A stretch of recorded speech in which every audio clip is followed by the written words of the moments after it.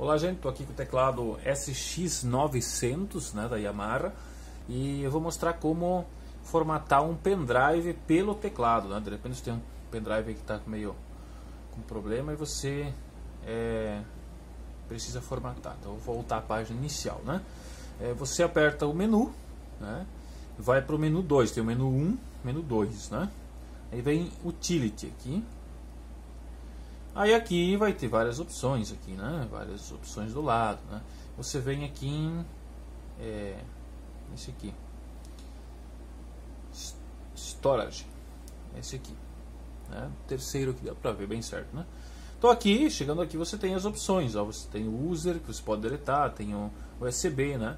Aí você clica em USB, já aparece aqui embaixo o format, né? Então você dá um clique aqui. Às vezes ele é meio enjoadinho, tem que dar uns dois, três cliquezinho aqui. Aí vem o yes, você bota aqui para formatar. Pronto, já formatou. É muito rápido, é bem tranquilo, bem rapidinho.